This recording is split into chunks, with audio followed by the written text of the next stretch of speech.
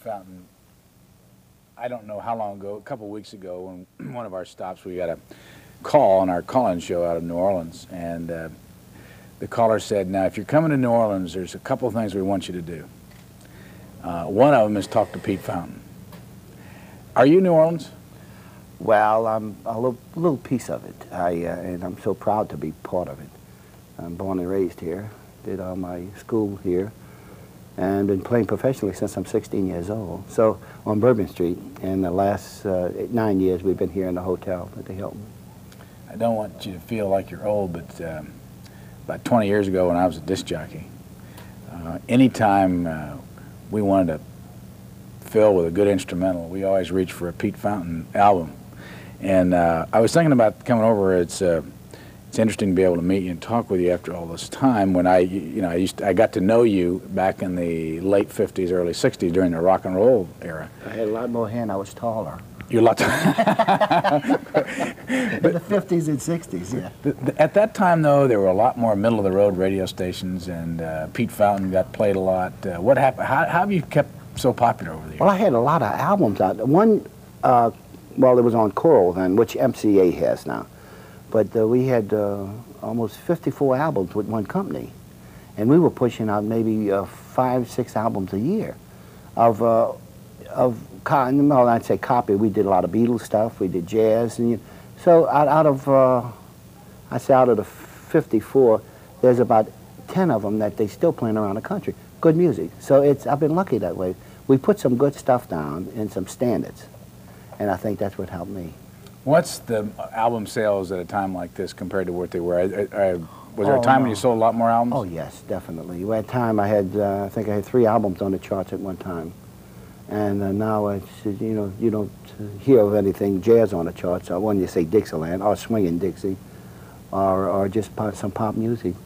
Uh, those chart days are gone, but it, you, you got to recycle. It, it might come back. Something in our business, the cable television business, we see a lot of is uh, references to MTV, the music channel, Mm-hmm. and uh, it, it's pegged to a much younger audience. But wh- why do you think the music, the I, I don't even know what you call it, maybe an acid rock or a pop rock or whatever, why is it so popular? Well, it's pushed at them so much, and uh, you know, and it, they come through the years when I was coming up. Uh, we we had uh, rock and roll. You know, when I say coming up, when I was playing, which was more popular than Dixieland. The kids liked it more. The Dixie or jazz just stays at one level, especially in New Orleans here. It doesn't go up, doesn't go down. People that like it come, come from all around the country, all around the world, to come listen to some jazz. What are your What will your audience be like tonight? What's the age group? Uh, mixture from college, from from 18 to, to 70, uh, 80. You know, it's it's it's a wide uh, wide scope. Any possibility that the kind of music you play will come back and be very popular in the sense that and it's obviously this is a successful club and uh, you're steady, but uh, you know, the, you think you see any trend happening right now? I, I, I see a trend coming on now that it's uh, it's it's it's real slow coming around. It's the big band thing, and maybe the, the going out to ballroom dancing again. I, I- I see that coming back slow, not not jumping right in, you know, not popping like some of the trends do, but uh, I can see this in like a circle coming around again, and that the people are really going on enjoying dancing to the big bands. But that's that's still is the uh, I say 30, 40, 50, 60. You know, we we trying to scoop up the, the younger ones, you know, the 18 and 19, but they, they have their own dance steps. They can't dance the, the stuff sometimes. The purpose of our trip um, around the United States is to get an idea of what people are thinking politically. I, we didn't ask to talk to you because we want to know who you're going to vote for, but we, it would be interesting if you see music interests changing depending on the mood of the country at large. I, I don't know whether it, the uh, that could change it. You know, I really don't. I don't. I don't think that mood mood could be changed by. Remember back during the Vietnam War, Yeah. a lot of demonstrations and uh, a lot of, uh, I don't know how you could even categorize, a lot of folk type music. Oh, about Uh, yeah. Well, yeah. maybe maybe it could could go that way. I didn't. I didn't realize that. Has there been a period, uh, I mean, in, in, do you find that your business changes, the attitude of your audience changes depending on what the country's feeling overall? No. Uh, the only thing, the only thing we feel in the pocket when you know recession or something when people don't come in don't have the money. What's it like now? But other, it's it's picking up now. It's starting to. Uh, We had a rough summer. All through New Orleans, it was pretty rough. I think all through the country, the summer's been real rough. Do you have, But- any, do you have any idea why? I don't know. I, uh, I I think we're the last one through the South here. You know, when you say New Orleans, we it looks like it, it starts maybe a year or two. Cause when we were on the road a couple of years ago, we could see we could see people were just having a rough time in the factories up up north, and uh, we were we were doing great here, but now it, it's just it's just reversing. It's it's hitting us now. It hit us the last year. Your club's not always been here in the Hilton. No, we've been here about uh, nine years in September. What was the reason for locating in a hotel? Uh, I, I had my own club on Bourbon Street, and uh, this is my own club here. We, we lease from the hotel. It's a great relationship we have, the Hilton and myself. We, uh, they bring the people in, and I entertain them. They, uh, but uh, I, I was on the street, like I said, since I was 16, and I had been in business for myself for 26 years, and uh, mostly on Bourbon Street. But I, I got off the street. It, it started to rain. Uh, they wouldn't sell the building. A couple things. It started to rain in the club, and the guy wouldn't fix the. The landlord wouldn't fix the roof. So I, I moved out. Uh, Baron Hilton heard about it, and uh, he called me and said, you know, would you come to the Hilton? And I said, good. And so he built the club. He's, we've been very good friends since. Has this town changed much over the last Oh, 23 yeah. years? I, I've seen a change since the uh, the World's Fair has been down here. You know. Really? Yeah, well, uh, building up to the fair, let's put it that way. That's, that's made the big change. We, we, we cleaned our act up, as we say. The, the town spruced up, did our streets, cleaned them, paved them, painted the buildings. It's, uh, it was a big, it was a good thing for us. It, it, we might not come out it financially, but it, it's, uh, in the long run, real, real, it's going to be good for the town. What's happened to music in, on Bourbon Street and the, the jazz sound of New Orleans? Are there more musicians in this town today than there were when you first started? I think so. Uh, now they tried for a while to put country on Bourbon Street, country western, and, and it, it didn't. So they they still have one or two groups, but they thought maybe that would be the answer. But it, it has its ups and Bourbon Street is like a like a like a yo-yo. It goes got a high level, low, you know, and it's at its high it's at its high peak now. It was low for a couple of years, but it's great now. It's uh, I I never talk about Bourbon Street because I was born and raised on it, really, and it's, it's been good and made my living. And uh, but it, the the peaks of it now it, it, it's at its highest. How would you describe your music? Is it Dixieland or is it jazz? I'd say it's swinging Dixie. It has a little swing to it, jazz and, and Dixie. It's it's that's not pure Dixieland. Where did it start? Where did that kind of music start? Well, I'd say a lot of it started down here, New Orleans, and then went up to Chicago. And uh, they have different types of jazz. When you say California plays a different, California jazz, the Chicago jazz, New Orleans jazz. All these are different types. One one might be just the tempo might be just a little faster than the other, and uh, one jazz might be organized a little bit more, like California jazz. It's it's just you know great how they put that together. Is it um, is it really American music? Is it one of Oh the yes, yeah, definitely. That's one of the few things we got. That and country music is really American. It's just all American, because everybody around the world is trying to copy it. You know, Do you travel anymore? uh, as, as least as I can. I try not to because I uh, paid my dues with the one-nighters, and uh, living on a bus. Everybody smelling like an old shoe after about three weeks of you know a month on the bus. But I still have my bus, and we go out uh, maybe three weeks a year, and that's during the summer, around August.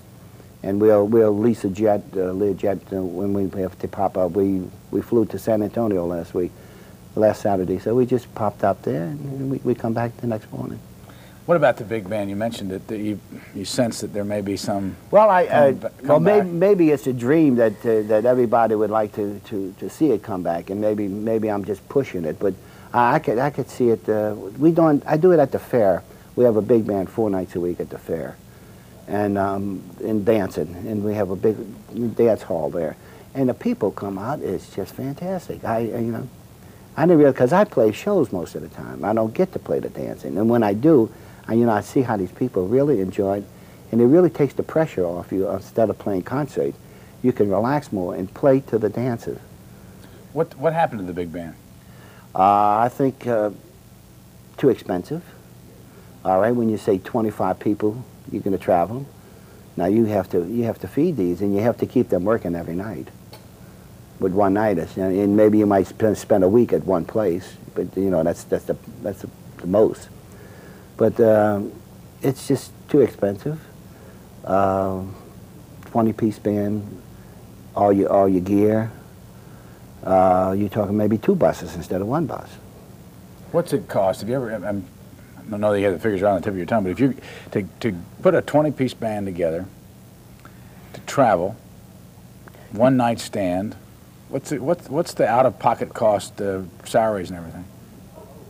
Well, Is there any way to quantify it? it, it would it would it would have to be from, from 10 to 15,000 a night.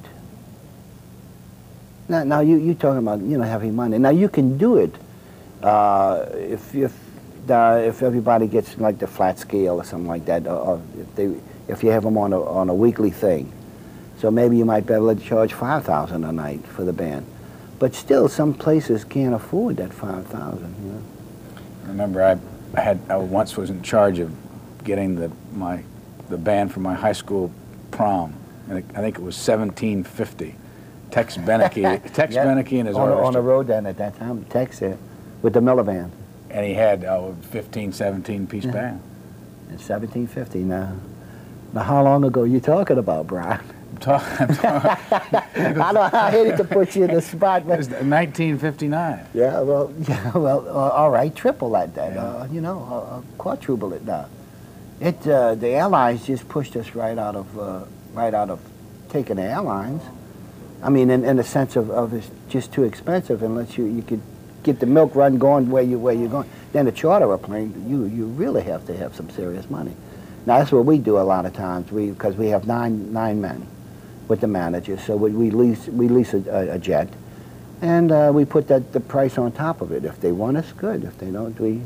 The biggest thing is I have a job, and this is you know when you could tell them I you know like I, I have a job. I'm not looking for a job because we, we, we could work here every night, which we don't. We, we work here five nights a week, one show a night, which I paid my dues. We used to do seven shows a night.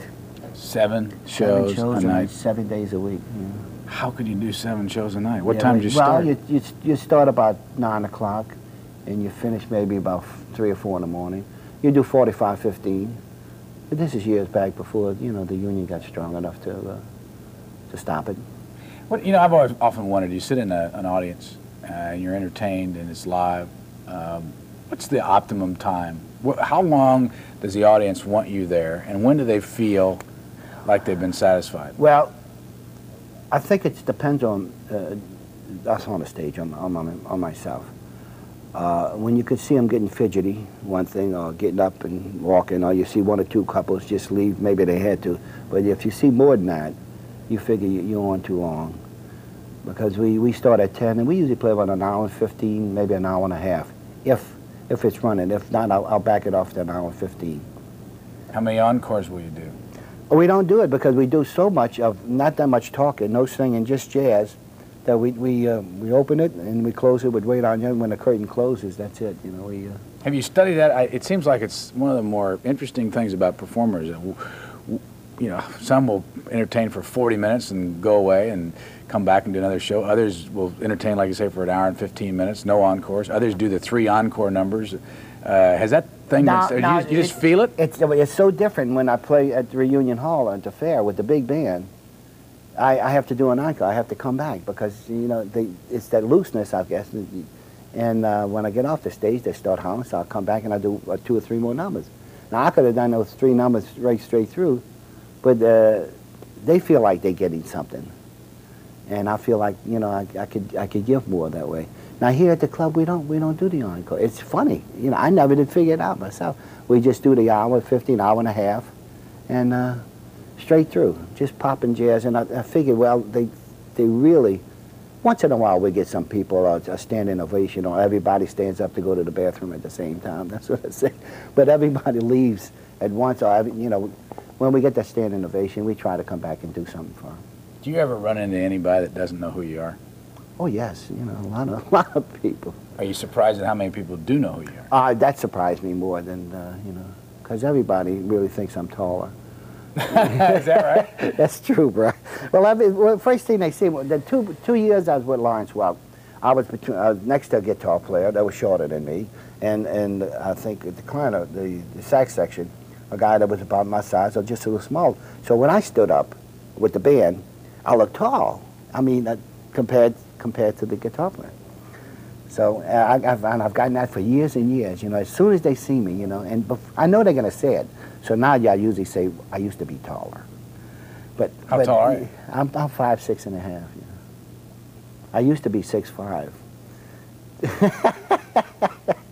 You know, No. that, it, it really is one of the more interesting things about people, especially when you're used to getting to know them on television. That you think you know what they look like in person, and then inevitably, and I'm just like everybody else. I thought you were a lot taller than that. That's the truth. You know. it is true, and then you see somebody say, "Oh my goodness, what's wrong with him? what, why, what, what happened to him? why is he He only?" shrink. well, I- I- they say as you get older, gravity pulls you down, so it's it's starting to pull me. When do you really have fun? I I have a good I'll have a good time in a phone booth if you know just a glass of wine and I'll, you know I, it doesn't take much to for, for me to have a good time. And I have I I feel my best on the stage when I'm playing my happiest. What- and my safety I'm safer there. I know for some reason it's funny how people you get into show business and you want to be known. And as soon as everybody knows you you hide. You know and then all of a sudden, when, when you figured people don't know you again, you try to get out and do, you know, get your name going again. Then you, you, you're sneaking out the back door again. It's, it's the craziest thing, but it's, I guess it's human nature. And, uh, and I can't, I don't think I can I don't think I could handle being a, a heavyweight because I, uh, I could talk to people a lot, but as for crowd of people pulling at you, then, you know, I, I'd go hard. If you look back, uh, how old are you? Uh, 53. Got a few I years to forgot. no, 54. It's, I've been, I've been lying. used ab- to be I've been 63 li- and I've been lying about it so long. My wife said the other day, you, you're lying, you're going to catch yourself. I'm born 1930, so I'm 54. Kids? Yeah. Any kids? July 3rd. Three and three grandchildren. Any of them involved in music? Uh, no, my daughter was till she got involved with her husband. So that, that took care of the guitar. She, she played good uh, classical guitar. As you look back on, uh, it seems like you've been around forever. I shouldn't- have. Well, I. And you got I've been, I've been. I've been record. I have 85 albums, 83 albums that I record. I have two more in the can that, that I recorded through my lifetime, and uh, and it started when I was 16 or 17 years old recording. So I'm 54 now, so I've been recording a long time. I ask you when you have fun, and I want to also know when you have fun at your work. When can you tell that this is a high moment? Do you do it on this stage here, or do you have to go to Reunion Hall here? No, no, I different different times, different places when you reach the peak. Or Where's when your you, high- what's when the you get a little when you get little bumps on your on your on your body when you when it starts to sing the clarinet and the people, you know, you know you have them. It's uh, it's, it's, it's Can you remember a couple feeling. of big moments? Oh, playing? Yeah. Uh, I did Carnegie Hall once. That that was that was exciting because Benny was my one of my idols. Benny Goodman and Irving Fazola. Those two. Uh, Irving Fazola was a clarinet player with the Bob Crosby Bobcats that recorded March of the Bobcats and a couple of things. And Benny Goodman is the old master. You know, he was he was my idol. Both of them. I like Benny's drive and and Goodman, uh, Benny's drive and, and Fazola's big sound he had. So I tried to put it together and come up with Fountain. So I've been lucky enough to. Did you ever did you ever come up with something that you thought you really were going to win with, and it was a big flop? Oh yeah, a lot of times. I have about about sixty albums. It just didn't make it. well, they did all right, but they did, they didn't they didn't make the noise that we we all thought they would. And it's funny once you record these things, you get into the studio, you know, you think it's going to be a winner. You say, "Boy, we have something here," and you go home, you get excited, but you know, when it comes out, it's uh, it, it makes it sold some of these albums. They wouldn't have, they wouldn't have recorded that many albums me if they wasn't selling them. So they uh, not to keep them in a can. I'm, I'm not sure. Your favorite album? I love Paris. It's full orchestra. Um, one called Pete Fountain's New Orleans that's still selling.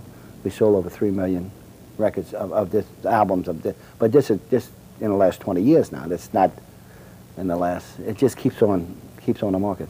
Not going to ask you for your personal financial situation, but would, could you retire on your album sales alone? Is there enough money No. to be made in albums? No. Uh, years I, I I could have years back, but I had bad investments. so I bought a hotel. You know, not here, not this one, but uh, I, I I had bad uh, bad investments. Uh, but that, I'm still going. I'm happy. It, it didn't hurt me. I just had to you have to pick yourself up and start running again. we are on the road and we are talking politics, um, and I assume as a New Orleans resident and a Louisiana citizen and an American citizen, you vote. You vote? Oh, yes, yes. Do you feel strongly about politics? Uh, not that strong. I wouldn't. Uh, I was about to get into it. I was about to run for mayor, and then my wife threatened to leave me.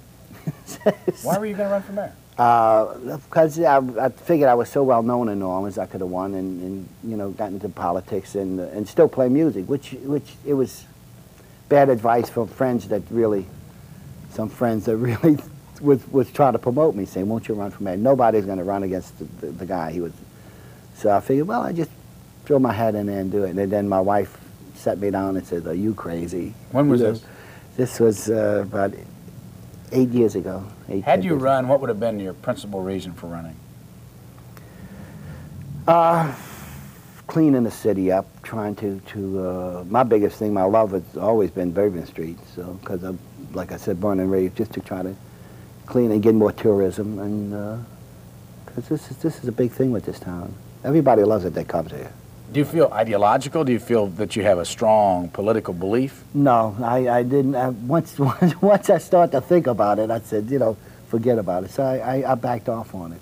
But I just made the statement on television, and all of a sudden, the whole press came down on me and said, oh, "Are you going to run?" And then I said, "Yes." And then the next day, I said, "No."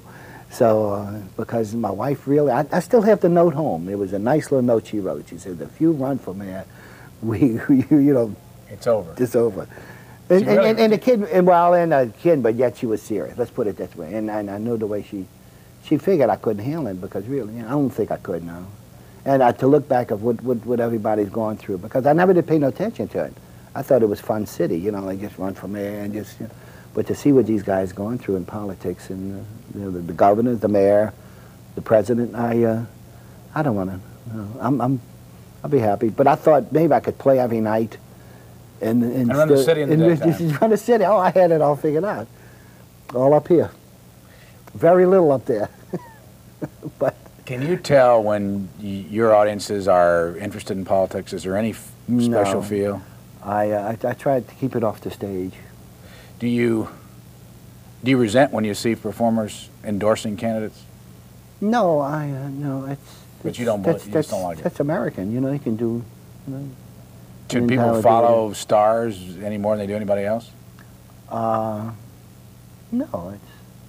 How about this political year? Do you do you sense that people care about this particular presidential election? Well, I, I have to say, the president. I, I, I was with, with him one uh, time where we we were playing in San Francisco at the Bohemian Grove, and he was down there with uh, Congress Congressman Murray, and uh, we were all on a plane together, and we almost got wiped out.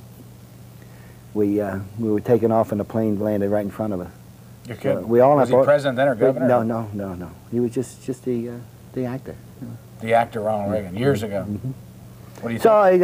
And You like so, somebody hollers. I don't know whether it's him. He always had a hell of a sense of humor. He said, said "Take two.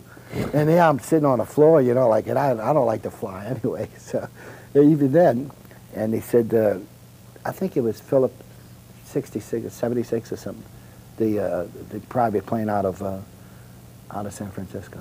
You know, it was, it was a private aircraft, whatever it was. And they said, somebody hollered, I think it's him, hollered, take two. And I said, oh. So we sit back on the seat. We all, we were all on top of each other because this plane had to stop that fast. But if he wouldn't, have, there was a plane came right in front of it. So we, we almost lost the president and the clarinet player. Thank you, Pete so Brown. you're welcome. Thank you, Brian.